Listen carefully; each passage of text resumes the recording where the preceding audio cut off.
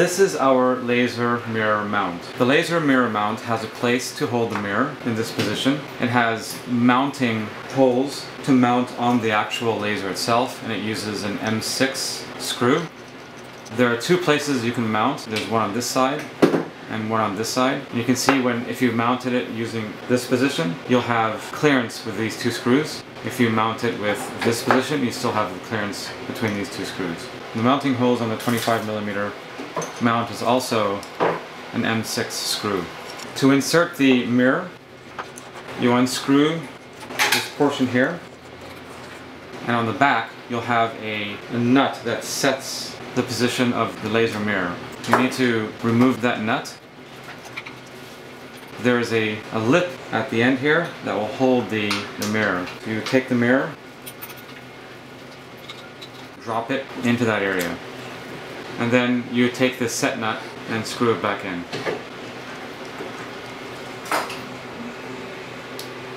You can use these two holes to get a, a tighter hold on the on the mirror.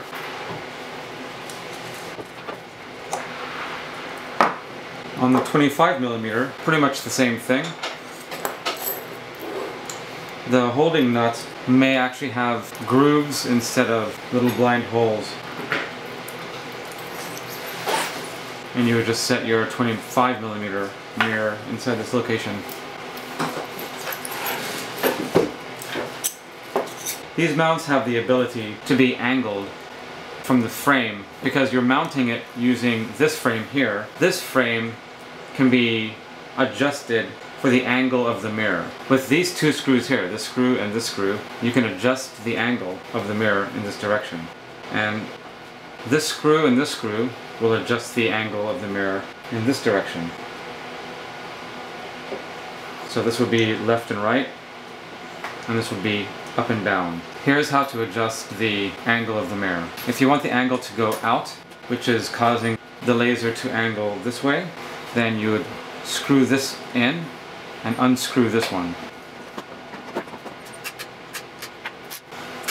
Make sure that this is loosened because when you're pushing this out, this screw needs to be loosened to give it the ability to, to be flexible enough. And there's a screw and a nut here, so you want to unscrew, unscrew both sides at the same time.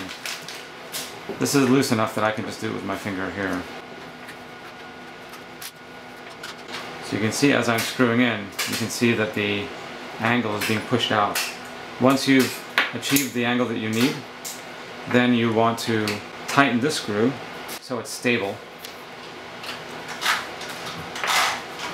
And it won't, it, it can't be pushed out any anymore because if you, if you don't tighten this one, you can see that it can actually still move.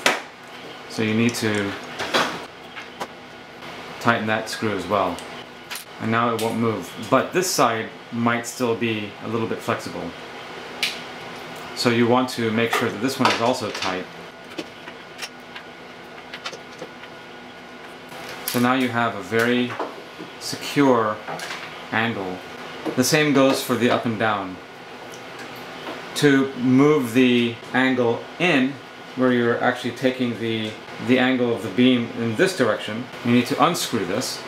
And this one you don't have to actually unscrew these. You can just go ahead and unscrew this.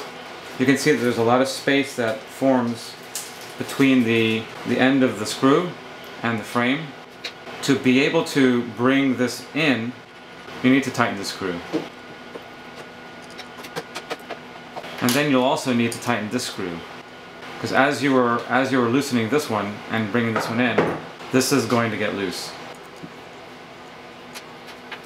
Okay, so that's how you angle the mirror on both sides. To make sure that there is no movement on the screw loosening through the, the motion of the machine, make sure that you tighten the set nut against the frame.